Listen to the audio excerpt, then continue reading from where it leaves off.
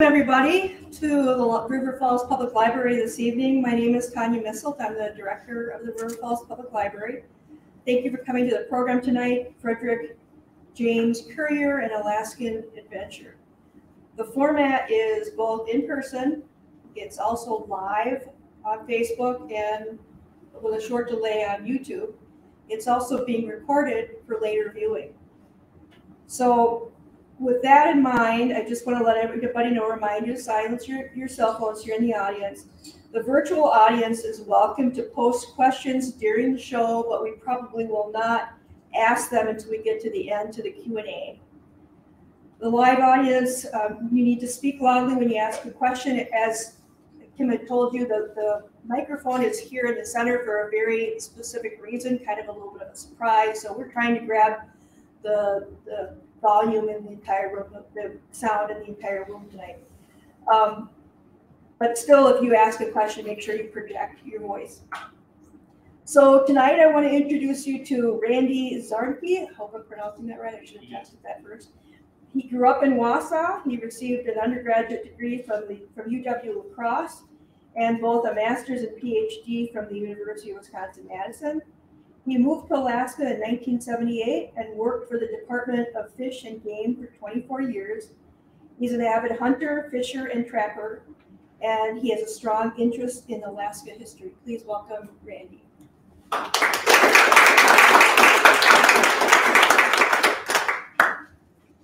to take your stuff? Here's my stuff. The last thing that was on the list that I sent her that she didn't mention was, I'm an avid Green Bay Packer. I also should say, uh, when I normally do these presentations, I try to wear coat and tie, but it is summer and it is uh, my vacation, so I hope you'll. Tanya said she expected a tuxedo, but I hope you'll, uh, you'll let me slide. So I have the very distinct pleasure of sharing with you tonight some information regarding uh, the adventures of a man who I've come to respect and admire over the last several years. His name is Frederick James Currier. He was born here and lived here in River Falls back in the 1890s. He had a comfortable life here in town, um, but wanted to do better for his family. And through an odd set of circumstances, he ended up in Alaska back in 1894, intent on striking it rich in the gold fields. And if you think of the timing of things, this was before the big Klondike gold rush. You know, it was four or five years earlier than, than that. He was a, a, a tough, uh, intelligent, personable man, and I've come to assume a, a natural born leader. So I could spend uh, the next 45 minutes up here telling you about uh, Fred and his life and his adventures in Alaska, but I'd really like to take a little different approach. We're fortunate tonight to have the spirit of Fred Currier with us. So, Spirit, can you join us?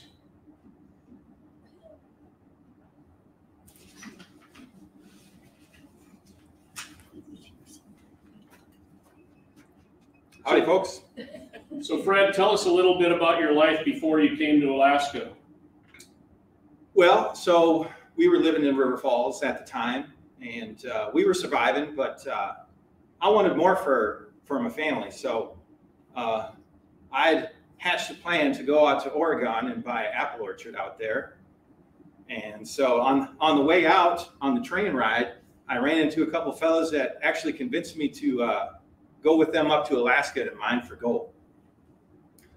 So next thing I know, there I am uh, in Juneau purchasing an outfit, and uh, we were headed up over the Chilkoot Pass. So the Chilkoot Pass has a very famous reputation as being a very tough place. So as you went over, did you have a specific location in mind where you were going to, to go? Yeah, we were we were headed to Forty Mile Country, uh, which is uh, so we we rafted in on the Yukon. Now, let me tell you that that was a difficult trip. The river was all iced up, and we had a hard time getting there. Uh, and once we arrived, uh, the mining season was already halfway done, so we were lucky enough to find jobs at a local trading post where we were able to spend the rest of the summer there uh, working at the trading post and picking up tips from some of the local fellows who are out there. And uh, we started hearing rumors of a, a, a big strike on a nearby creek called Mastodon. So we purchased a claim out there and headed down to Circle for the winter. So where was your first mining claim actually located? Well, it was in, uh, uh, as I said, on Mastodon Creek, which is in the Circle Mining District, about 70 miles from Circle. Um, the claim that we had purchased, uh, we had purchased it sight unseen, which is uh, pretty much exactly what you'd think. we, we, had never seen the site uh, before we purchased it, so when we arrived, um, the site we purchased was was number 39 above Discovery, and once we arrived, we realized that it was two miles above the tree line. Uh, for us, that meant uh, we'd have to walk two miles downhill and carry our wood two miles uphill uh, for everything. And you know, we we use wood to build our cabins and build our tools and sluice boxes and to to heat the place. And uh, so it was a constant chore hauling wood down down to the tree line and back up to our encampment. Um, first run of water showed up on May 1st. And shortly after that, we built a creek dam that we could use to, to uh, block up the water and use it for sluicing out the gravel. Um, you know, uh, How about your first cleanup? the first cleanup, the first cleanup that we had out there, we produced 44 ounces of gold. Which is no small task for, That's right. even in today's standards. So were there any special events for you that summer? Well, well, I remember one time I was up on a high ridge and it was nearing, uh, it was in the evening, so I decided to stay up there, watch the watch the sun come down and not quite set uh, that night. Uh, another time, there was a, a, a group of, there was a strike nearby, and every miner from every place around us was all streaming towards that location. So we got up and, and ran out there, and it was a 20 mile hike, uh, only to get there and find that nothing had actually happened. Uh, we'd all just gone out there for nothing, but that's just how miners think. When something's going down, you get up and go. So it was all just a rumor. That's right. So then you left Alaska for a year. That's right. We came came back home here uh, to have a boat built, uh, and that would allow us uh, uh back up in Alaska to to uh, explore more channels uh, on our, on our own discretion, without having to depend on other people to give us rides in, the, in their boats. And uh, so you eventually ended up, when you went back up then, you ended up on the Chena River. Tell us about that trip. And what, what prompted you to go there? Well, so we had heard a lot of good things about the uh, the Chena, so we thought that would be worth our time. And the trip upriver? Well, so we took our boat, which was called the Potlatch. Uh, we traveled that river, and we were, um, you know, panning at the various uh, sandbars and and just exploring around. We found enough gold to pique our interest. So once we got far enough in, we stashed the boat, and half of our crew went inland and started to build a cabin, and the other half would haul the tools. Uh, and once we had our location established, we'd push on to another location and we kind of work our way into the land that way. Now, eventually we got to a place at DeMar Creek where we had three or four cabins built there, and we called that Fort Independence. And we, we ended up spending the next two years mining for gold at that location. So tell us about your, your life and the, the mining activities there uh, on the Upper Chena. Well, we had a good group. You know, every, everybody got along. Uh, we did we didn't have any of those petty squabbles that we heard about in the other groups. You know, there's always fighting going on when the you know when everybody's got those pieces of gold. So, uh, but there was always plenty to do. You know, uh, hauling and chopping wood. Uh, just a daily chore hauling that wood up. I can't I can't express how much time we spent uh, hauling wood chopping lumber because uh, we use it for everything, uh, including heating the homes, which uh, coldest temperature I recall out there was 70 degrees below zero. Uh, now that is cold, I tell you, when you're chopping your own wood, especially. Um, so they, uh, we had plenty of food stores, you know, so we, we ate well. There was always fresh meat, you know, car- plenty of abundant caribou in the area, always. Uh, when we did have spare time, we would uh, go out and, and uh, explore the surrounding areas, trying to find uh, that next location for the big strike, uh, you know, looking for gold. So after you had been at Fort Independence, which is what you named your camp up there, after a year, you had some visitors. That's right. Yeah, yeah. Some fellas came up on a boat called the Jenny M. And, uh, you know, they, they came out there just because they heard we were good miners. And um, they wanted to see if there was enough to go around. Now, by, by the time they got to our location, uh, it was late enough in the season that they weren't able to leave. Or if they did, they would have got frozen in the river. So uh, we decided the best thing was for them to stay the winter with us. And so we sent out a combined hunting party to up our stores. And we brought back 30 caribou, two bears, two moose. On that trip, I actually fell in the river myself and almost died. So I almost froze to death on the side of the river. Lucky some of my quick thinking companions hauled me out of there and started a fire on the side of the river and, and thawed me back out. And uh, then you had another visitor kind of midwinter. That's right. Uh, Windy Jim. Uh, that was in the year 1900, and Windy Jim was with the census. So we figured uh, Jim had traveled 450 miles just to count the 16 of us. now that is dedication. Well, federal employees, right? So how did it come about? How did you decide to leave Fort Independence? Well, there was a big uh, a big strike up at Nome, and so um, we we made our mind up to head on down there. And so we- hitched a ride with the fellas on the Jenny M, and they brought us down as far as, as our boat, the Potlatch. But um, we, we discovered that that our boat had been uh, dammed up by beavers, and we spent days trying to trying to uh, trying to free it up, but we just weren't able to do it. and We had to abandon it there. And how did, uh, uh, excuse me, but how much gold did you find at Fort Independence? Now, there are some questions that you do not ask in polite company. You don't ask a woman her age, and you don't ask a gold miner how much gold he found. Understood. Next question.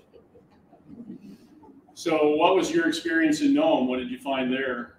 Oh, by the time we got to Nome, all the good claims were taken. So uh, I I just had to go and find a job with an old friend of mine as a mine boss, and eventually I just made my way down to California and I purchased an almond farm. Much easier than mining for gold.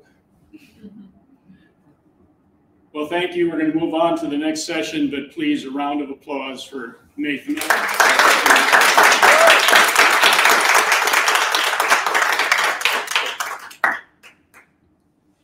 So I, allow me to, to emphasize that this was not made up. These were all facts. So everything you heard here was real. And you might ask, how did we know all this about Currier? There's a couple of ways, and one of which is that two members of his party were very dedicated photographers. And this was at a time when, you know, they didn't take pictures with these.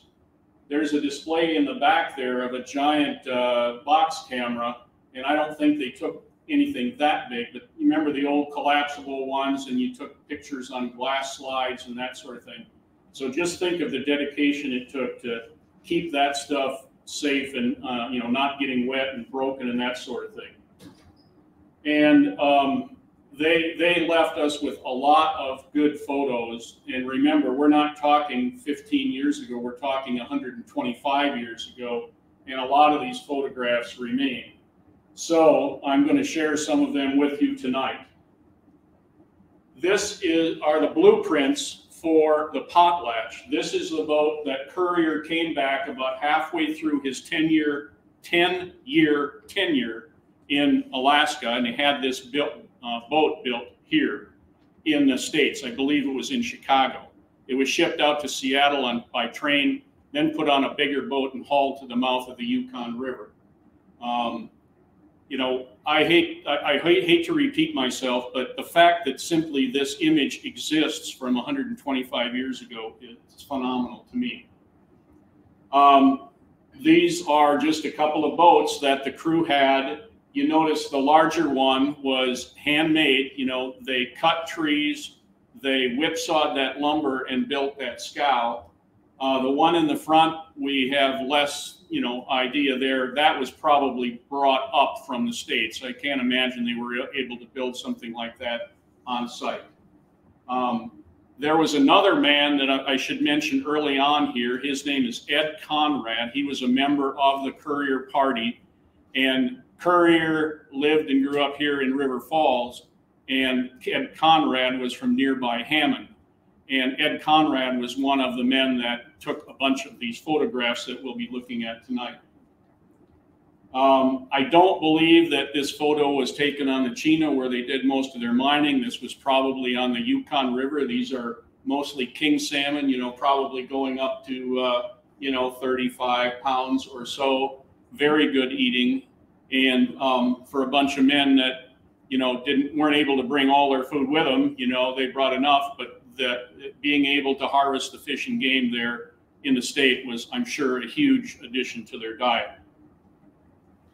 Um, just uh, a, a, camp scene, you know. Um, um, the spirit of Fred told us about rafting down the Yukon, and at one point they dumped their raft and they lost half of their gear. And I jokingly tell people if that was me, I would have been curled up under a spruce tree crying for my mommy. And these guys just shrugged it off, and it was more a matter of, hey, we still got half our stuff. Let's keep going. And you can see, I mean, these are pretty hard bitten men that, you know, they're able to live with a hardship here and there. The dogs were uh, uh, uh, present in many of the photographs, as you will see. They were just favored companions of the whole crew. Um, head nets in, in Alaska in June and July are almost a necessity. Uh, one thing that I have seen this picture probably 15 times since we first uh, brought this book out. And um, it was just within the past month or so that I noticed a detail that I had never picked up before. Can anybody, let's see if I get this right, can anybody read the letters on that pail?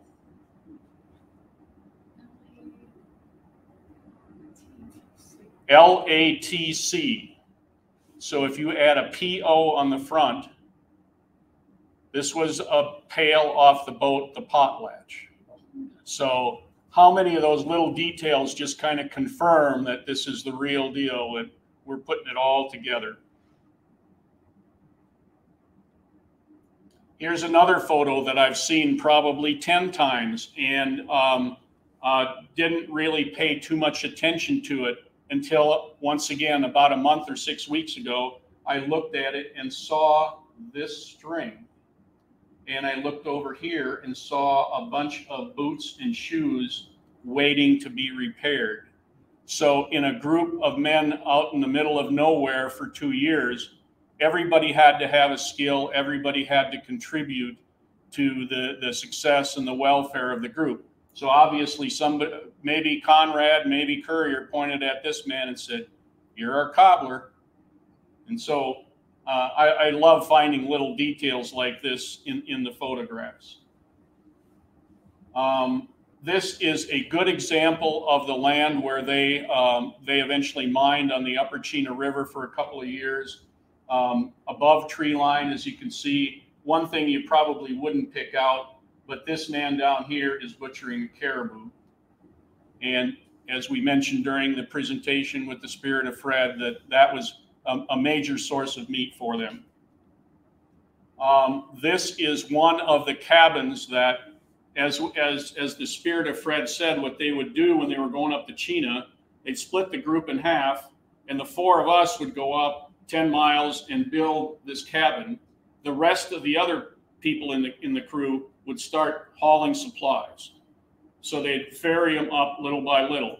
About the time that they got the first load of supplies there, these guys would be done with the cabin, so they'd hike another 10 miles up and build another cabin.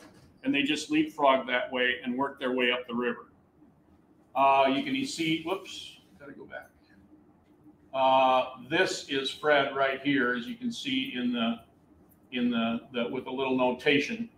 Um, at one point, we thought that this cabin was the infamous Fort Independence, the ultimate place where they mined from. We later learned better. Uh, you also see the dog there in the front. That dog's name was Bella, and it was uh, was uh, Currier's favorite. Here's a, a picture of Fred and Bella. Dogs were not just pets; they were they were working animals too.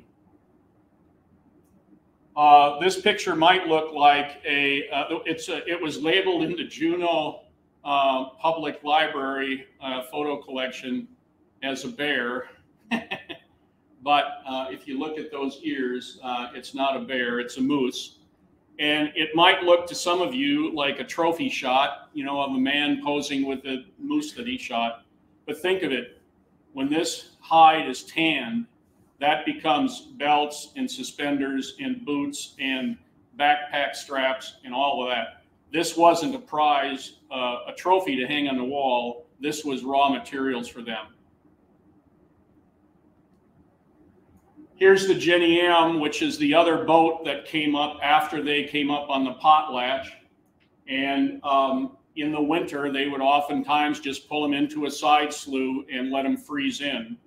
Uh, they were too big to try to get out of the water, so you just had to allow them to freeze in. You take it into a side slough so that if you left it out in the main channel, when breakup would occur, the big chunks would either damage it or take it away without you.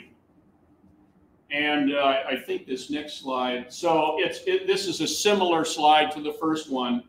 And a friend of mine who has really gotten enthused in this whole story of Currier on the Chena when I showed him this, we both had kind of the hair on the back of your neck stand up. He says, I live about three quarters of a mile from there. I can see that spot from my front window.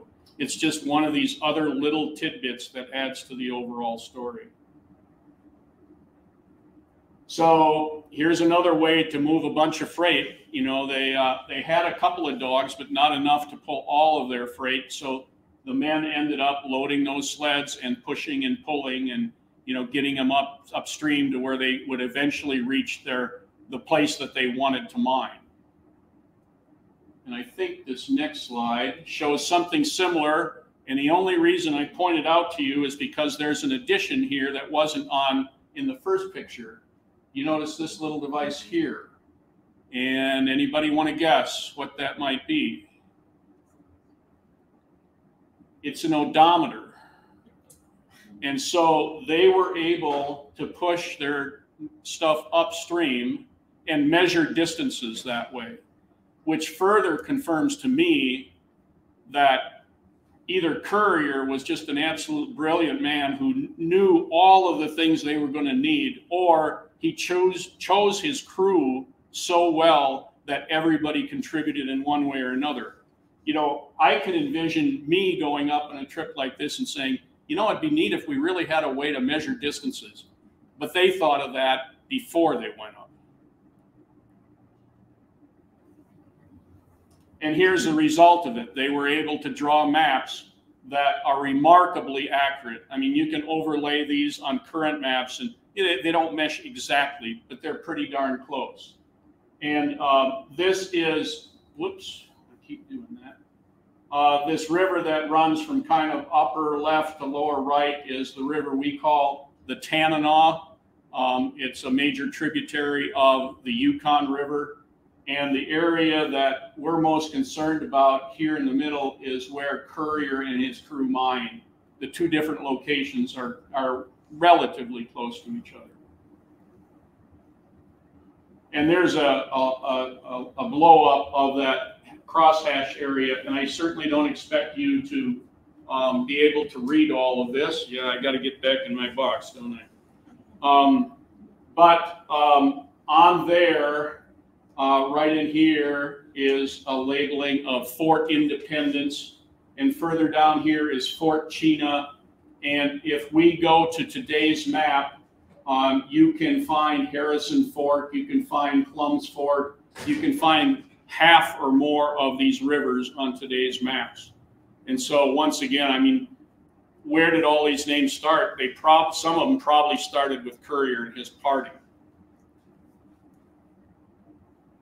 Uh, during uh, the uh, uh, presentation by the Spirit of Fred, we talked about the census form or the taken in 1900, and he, this was one of the others that caused the hair in the back of my neck to stand up. To think that we were actually able to find the original census form from 1900, and um, if you look real closely, the first name there is Ed Conrad from Hammond, Wisconsin the next one is Fred Currier from River Falls, Wisconsin.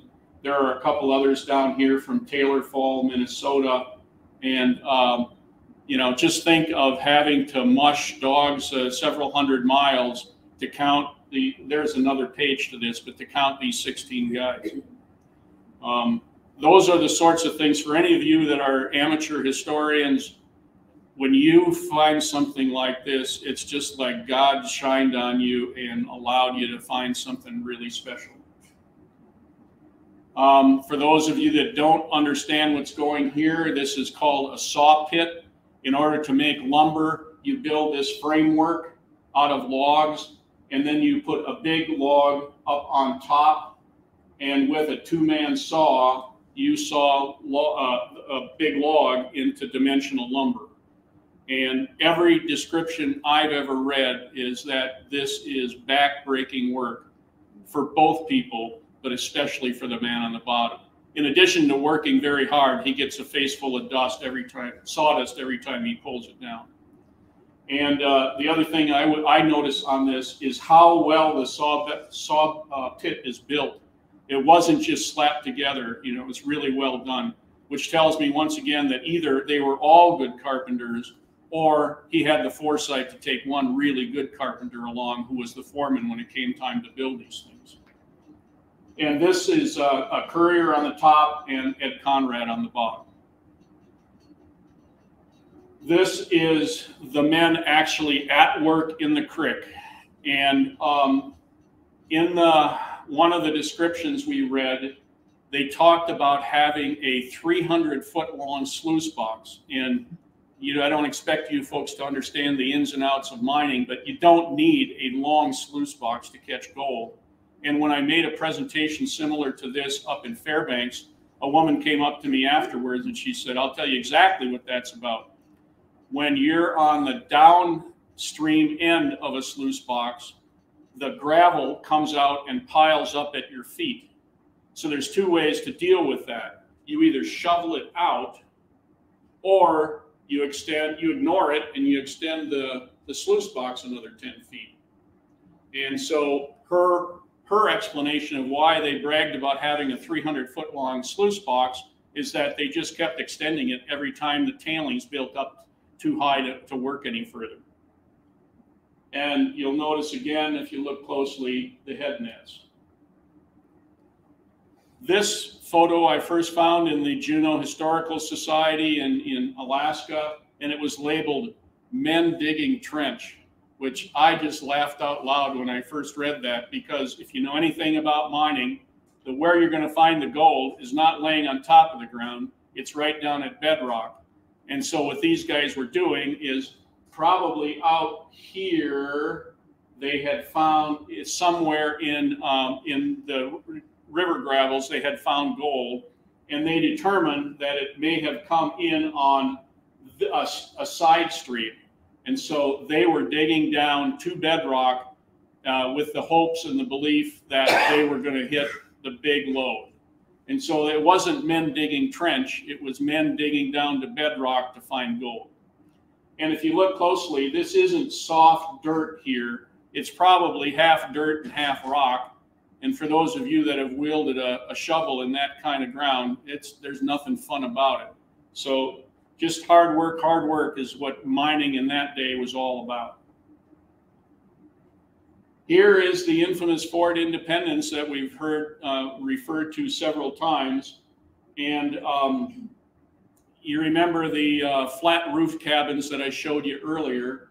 These are the first peaked roof cabins that we've seen in photographs. And so it tells us that when they're moving and the cabins are temporary, you just throw something up and move on. But when you think you're going to spend time there, you do it right. Um, I can also tell you now, or I could tell you later, but I'll do it now. Um, here's another one that when it first happened, the hair on the back of the neck stands up. There's a, a young uh, PhD student, a history student in, at the University of Alaska that, um, you know, the guys like me don't know how to use things like Google Earth, but this young fella does. And we told him where we thought this was, and he went to Google Earth and he found this exact uh, uh, series of hills. And it wasn't the sort of thing where when you looked at his image and our image, you say, yeah, that, that, that could be it. You look at it and you just, it's, there's no question about it. And so we now feel that we know within 50 yards of where Fort Independence was. And we've been planning to go for the last couple of years and take metal detectors. And I mean, we're not going to find those cabins by any stretch. They're 125 years and they've blown away to nothing.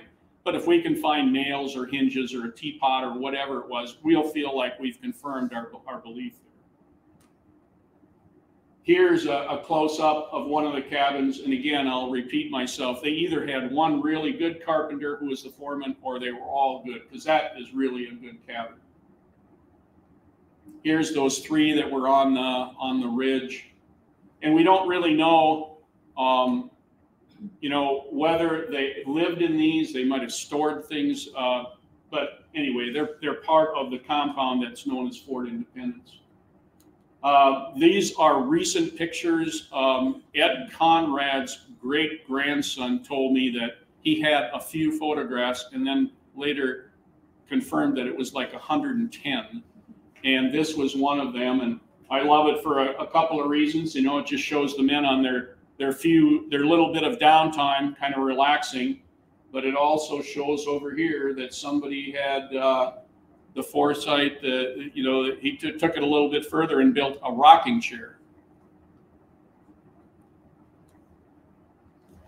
here's another one just showing men in a tent and i like the uh, the U.S. flag in the background, and then the picture of somebody's baby daughter. I'm sure that got got up there somehow and uh, you know just the, the, the little bit of downtime that those guys had you got to remember they were human beings too here's another way to produce gold um, in alaska uh, it isn't all done in this in the summer the vast majority of it is but in the winter you can go uh, like if these guys found gold in this general area they would then go back and dig a shaft from ground level down to bedrock in hopes of finding that, you know, where a big collection of gold had settled in the creek.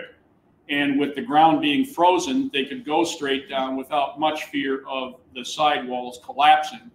And then they would, uh, let's, this would be a windlass here that they could then crank buckets of that gravel up and dump it off to the side. And then in the summer, they would have this big pile of what's commonly just referred to as pay dirt that they could then sluice in the summer. So it's it's a hard way to mine, but if you're sitting around the cabin for weeks on end doing nothing, it's better than sitting in the cabin again. And uh, if you can produce even a little bit of gold, that's more than you had if you hadn't done it this way. This uh, the, the a little I'll talk a little bit about how, how do we know all this stuff and I showed you a bunch of pictures. But in addition to the pictures, Fred Currier took this really great story of his adventures with his crew, and he was an excellent, excellent writer, and he produced a wonderful book, which I was going to have copies here tonight for you folks. And unfortunately, there was a miscommunication up in Fairbanks, and the books were never sent. But what happened is Fred moved to uh, California, as the spirit of Fred told us earlier, and um, you know he did a bunch of presentations in his hometown to the you know, the Chamber of Commerce and the church group and all of that. And people, I'm sure, said, Hey, Fred, you got to write a book. And so in 1934, he wrote this book entitled An Alaskan Adventure. And unfortunately, he died like six months later before anything could be done with it. And he may not have told anybody in his family about it because it was forgotten until the mid 1980s when his daughter was pawing through his desk one day and found this manuscript. And I can only assume she had the same reaction I did when I first read it. And it was, it's so good that she did what she could to get it published at the time. And it didn't happen, but we found it again uh, about 12 years ago and, and got it published. I'll tell you a little bit more about that. In any event, this is one of the handwritten, original handwritten pages from the ma that manuscript and I see a lady in back shaking her head, and you have the same thought I do. Isn't it amazing that things like this still exist, and, and we, we've got the, we can put them together. The other thing that Fred did is he wrote other documents, and when his grandson handed me three or four of these, I thought they were brand new stories, and I got super excited. But when I went back and compared them to the book, uh, three of the four, what I thought were standalone stories, he kind of morphed and rewrote and worked into chapters in the book. Um, but the reason I wanted to share this with you is, isn't that just wonderful handwriting? I mean, it, you don't really get to the point of calligraphy, but I mean, I don't know, I could never write like that for, and, and for him, it was apparently quite natural to do so. This is Fred after he moved to uh, California and his second wife. Um, here's another one of those, you know, very elaborate uh, handwriting uh, articles.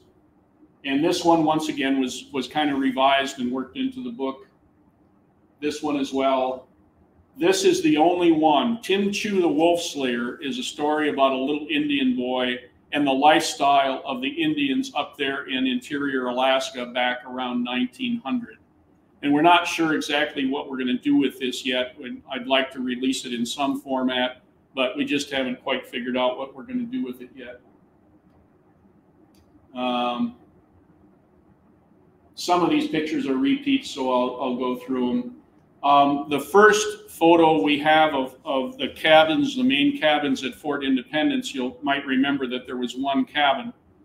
But then that second year, that other boat came up and got uh, uh, stranded there, and so they had to stay. And I think the second cabin shown here was built because of that, for the second uh, boatload of guys.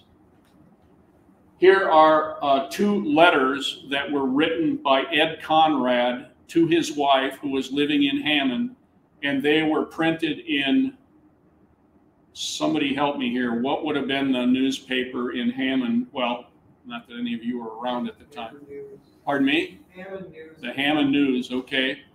And um, when the Spirit and I were going through these earlier today, uh, he picked out one thing that he really emphasized. Let me see. Uh, if we go here on the right-hand side, uh, he's talking about the men and their crew, and he says, they have great confidence in our man Currier and are determined to stick by us. And it just, you know, reconfirms my belief that Currier was a consummate leader, a natural. You know, I don't think he had to dictate and, you know, browbeat people. I think he was just one of those people that you know, men wanted to follow, and, and he was a natural born leader. I think we're almost done. Oh, that this one was just labeled three tenths in the on the upper North Fork, which is right near where they uh, where they eventually ended up mining. That bear is dead, so don't worry about it. um, that photo we've already seen earlier. Uh, here's a picture of Fred on the right uh, down in California. And the second man over, Daniel Jepson, is the son, no, the grandson of Ed Conrad, a Currier's right hand man on, the, on these trips. Um, another uh, repeat of the picture that you've seen earlier. I only pointed out because uh, here on the, the left, they refer to it as Wolverine Gulch, which if you look on maps of today, um, there is a tributary of DeMar Creek that's called Wolverine Creek. So it just further confirms we're in the right spot. And then over here on the right, it says where a good prospect was found. So, you know, this was the place where they probably ended up producing most of their gold. How much? The answer to that is the same that the Spirit gave me earlier. You don't ask a miner how much gold he found in the summer. He's not going to tell you, and he's going to remember it and resent you for asking. Uh. There's the end of the, the photographs. Um, so I started this out by saying, how do we know all of these facts and things about Fred Currier? So one of the ways we know is all those terrific photographs. Um, I mentioned that uh, the, the, background on the, the, the, book, he wrote the manuscript in 1934 but died, and it was found uh, 50 years later by his daughter. Um, a friend of mine, it ended up in his office at the University of Alaska, and I was helping him when he retired. I was helping him clean out his office, and you all know how that goes. You throw this in that pile, and you throw this in that pile, and he had this box, and he just handed it to me. I said, What's this? He said, It's a book manuscript. You'll like it. Well, when I got home that night, I mean, it was just blew me away how good it is. Um, I can't tell you I've read every history book, uh, Alaska history book, but I've read most of them. And this is honest to God on par in terms of uh, content, you know, factual content, but also just the quality of the writing. So we also have another special guest with us tonight, uh, Leslie Johnson from uh, over across the river in um, uh, Afton. Uh, we met uh, when she discovered my book, and I've just asked her if she would be willing to write to read a, a, passage from it to, to share with you folks. Oh, that's right. You have to come. Up, you have to stand in the box. Hi, can you all hear me? Um, uh, so yeah, I'm I'm just thrilled to be here. I actually um, crossed paths with Randy and reached out to him. Uh, Frederick Currier was a um, journalist and editor for the River Falls uh, Journal, and he actually wrote about a miner, uh, a woman miner who from Ireland who I was researching. Um, and so um, I started doing a little research on um, Frederick, and then um, that's how I uh, got connected with Randy. And uh, um, so the, the the book I concur with um, Randy. Everything it's it's quite amazing and it's extremely well written. Randy asked if I would share one of my favorite passages of the book, and I actually had a really hard time. I've got I started dog earing like almost every other page, and then I thought, no, this is a good one. This is a good one. And I thought I just need to nod and then kind of wait and see which um, which um, what stories kind of stuck with me, and, and that's the one I'm going to read tonight here. Um, so the miners had a, uh, their own uh, mining laws up there, you know, the lawless area at the time, but they they created their own, and uh, it mimicked our uh, our own judicial system with a few uh, interesting twists and turns. Um, so I'll, I'll start. They uh, they rounded everyone up in this um, mining area. Um, there had been a violation of a long-standing law. Somebody had broken into a cache, which is kind of considered sacrosanct. You simply don't do. You don't go into another man's cache and take anything there. And somebody had done that. Yeah, and this was. Um, it was a Alaska Native American, and um, that the cat that the cache belonged to a, a tribe and um, they were not happy. So we rounded all the all the people up in the saloon, um, and I'll read a little bit about um, uh, what took place here. Men shouted, "Friend!" Friend being one of the men. Here's Alexander from the Birch Creek camp. He was their the chief, and he claims that his cache up on Seventy Mile has been robbed. What are you going to do about it? Let's hear Alexander's story, shouted back someone. Wait a moment, said Lansing. We better do this in order. I move that Buckskin Miller act as chairman of this meeting. Second the motion, a voice called. The motion was put and carried, and Buckskin Miller was escorted to the table near which a chair was placed for him. Now, gentlemen, let us have a clerk, he announced. Handshaker Bob was chosen, and you'll know they all have nicknames, by the way. we are ready now to proceed in an orderly manner, said Miller. Alexander, come up here and tell your story. The Birch Creek chief and half a dozen hunters had been standing quietly on one side during the preliminaries. None up to this time had spoken a word. But the old chief, at Miller's invitation, came forward and in broken English said, Birch Creek Indians have cache on 70 Mile. Catch 'em. All cache 70 Mile. We go kill a moose, kill a bear, Crooked Creek. Snow come, cold, freeze. Indians come back 70 Mile to get fish, get robes, get snowshoes, get sleds. 70 Mile cache broken open, fish gone, skins gone, snowshoes gone. White man take 'em. Birch Creek Indians very angry. Young men say, go kill white men. Alexander more wise. He come tell white man. White man pay Indians, kill thief, all good friends then. Not a word had been spoken by anyone else while the old chief was uttering his broken, laconic sentences. Alexander, how do you know it was a white man who robbed your cache? questioned the judge. Did you see him? Perhaps it was a wolverine or a pack of wolves that broke in. No wolves, no wolverine, replied Alexander, shaking hard his head. White man, me no see him. See tracks under cache. White man tracks, white man boots. Three white men holding up three fingers. Tracks show now, all hard, freeze 'em in mud. It's a clear case, boys, said Miller, turning to his audience. The Indians don't make mistakes about such signs. We must hunt out the thieves, the thief or thieves, and punish them. Now, to sift this thing down to where we can do something, let me ask who came down past 70 Mile this last fall? I did, answered Missouri Bill. Came down in September from 40 Mile. Saw the cache at 70 Mile, but didn't stop. Don't know if it had been touched or not. A score of others, including ourselves, gave similar testimony.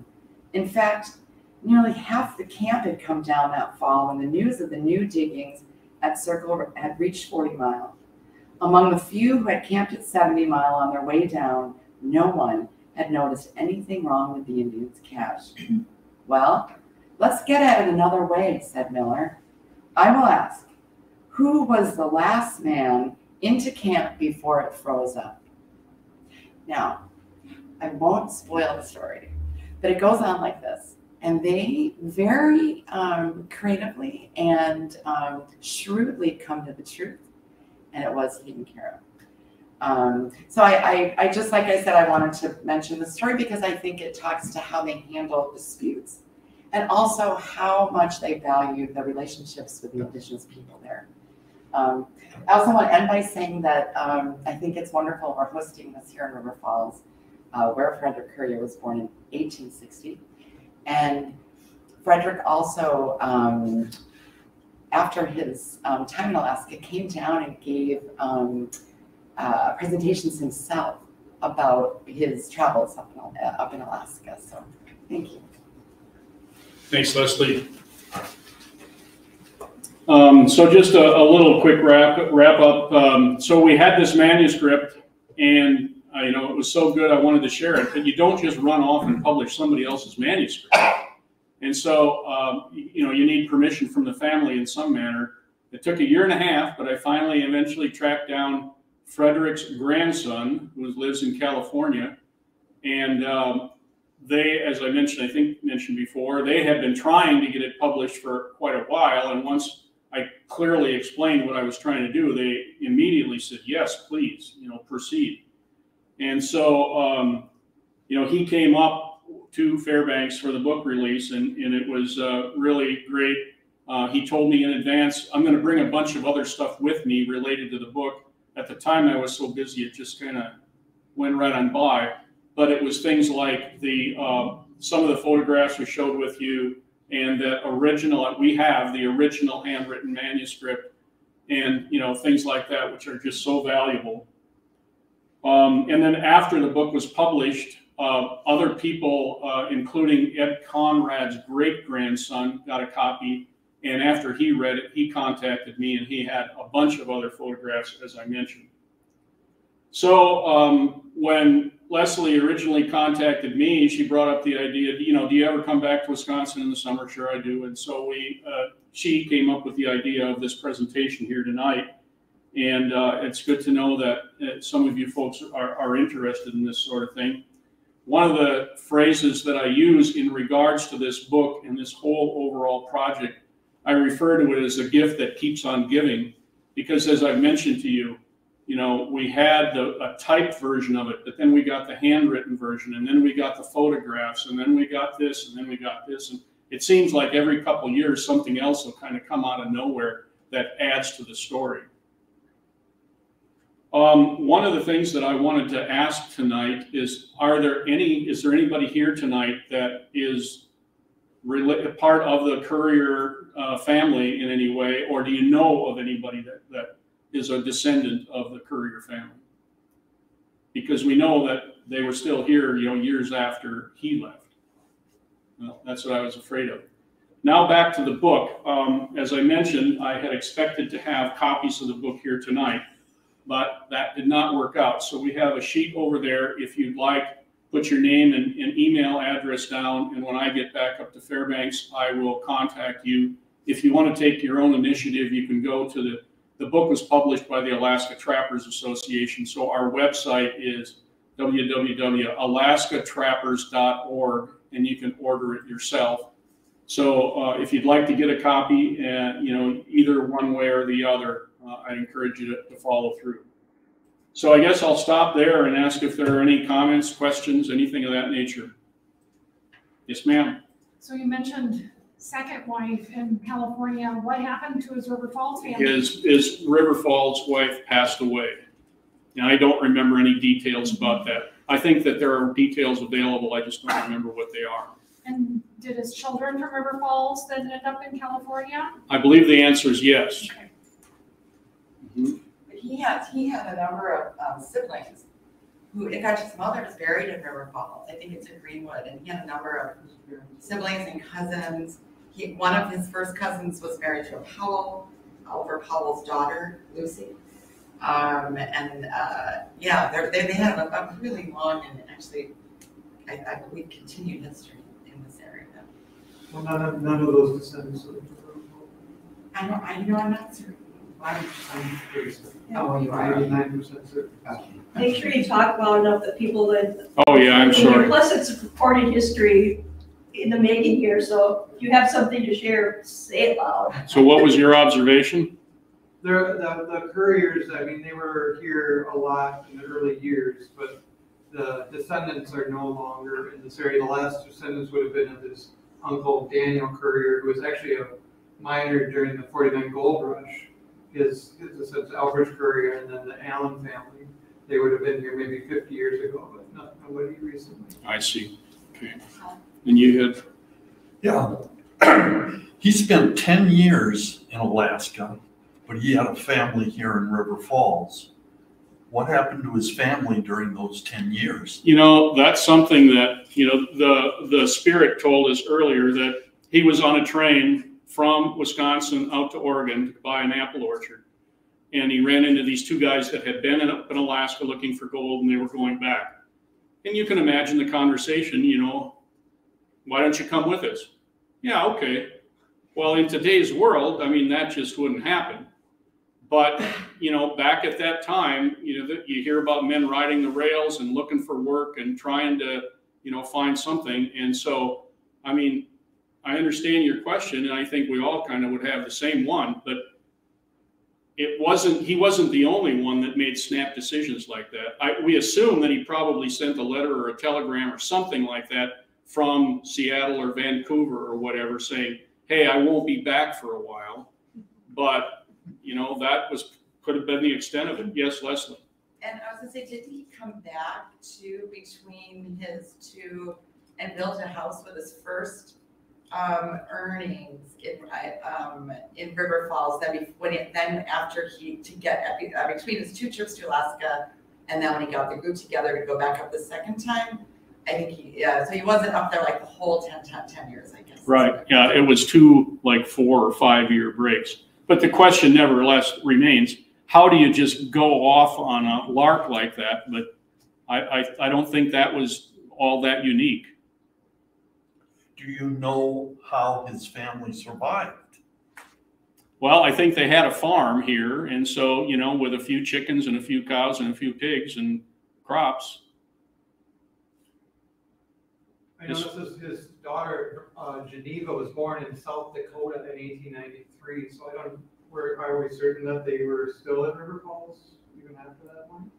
I think they came back from South Dakota to River Falls. He was, he was an editor here in the, the, uh, when they came back from the first time, um, and the family lived here, and then when he came back from Alaska the first time, they built a house in River Falls.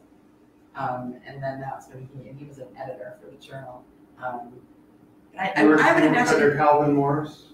what's that? You're saying he worked under Calvin Morris? I don't know, I don't know. I mean, he was the editor. He might have that, yeah, in the, in the turn of the century years, yeah, in between his two trips. But I wouldn't, do you think he would have brought, he probably sent money home? Or if he was able to, if he was able to exchange, you know, if he was able to do that at any point? That would have been really hard for them to send money home because, um, you know, like those two years they were on the Upper Chena, there was just no way of communicating with the outside world. And even in better situations, like when you were in major communities like Circle City or, or, or uh, others, um, you know, it was just widely accepted by everybody that you would send a letter out on the outgoing sternwheeler and you might get one the next summer when the sternwheeler came back. So communication was oftentimes, you know, many months, even a year between when you sent something and received something. So sending money, I think, maybe maybe, but it would have been difficult. Or, or maybe when a friend went out, you know, he quit the mining operation and left, maybe that somebody like that could bring money money back. Anybody else? Yes, sir. Maybe you know this more than he does, but do you know where the house is that they built supposedly in town? Have you found that? No. And I think it's in the book, I think it says the general area in this book, I recall that, yeah. So we could probably find it, yeah.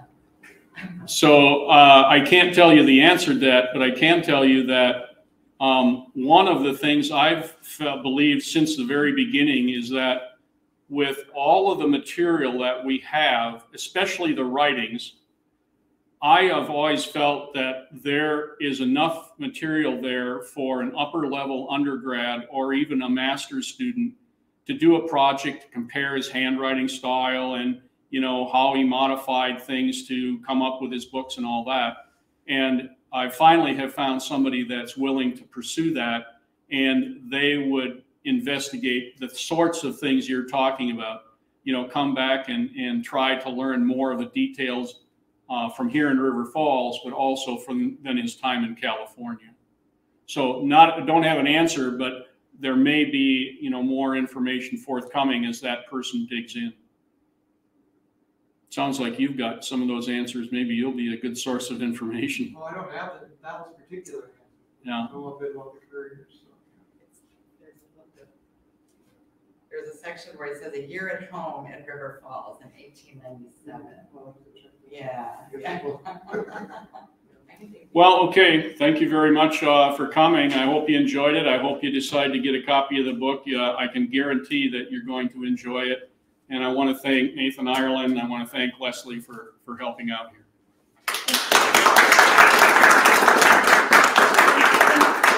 Thank you for your enthusiasm and being willing to bring it here locally to us. There's obviously, uh, there's the Pierce County Historical Society is, did I get that right?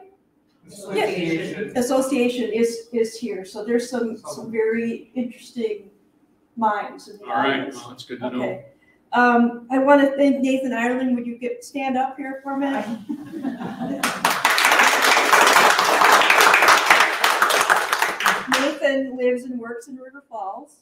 He has three children that are all currently high schoolers. And he's been acting with River Falls Community Theater since 2018, and we were all extremely relieved to find somebody who was willing to learn the part and play the part because not all librarians are really, you know, that great of actors. So we were, we were, pretty, we were like, oh boy, who are we going to find to do this?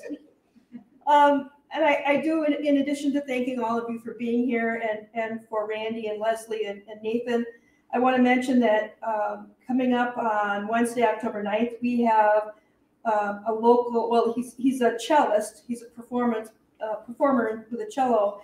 His name is Alex Chamber Ozaski, and he's got a bunch of degrees after his name, and I think his family is local. Anyway, he's been here before. He was a huge hit. Lots and lots of people showed up. We had them in the meeting room upstairs. This time, we're going to put them uh, in the main area of the library where those windows are. We've been lately having some music performances there. So if you have time to stop over on Wednesday, August 9th at around 6 p.m., you'll have a chance to hear his music. And that's it. Thank you for being here tonight. Thank you.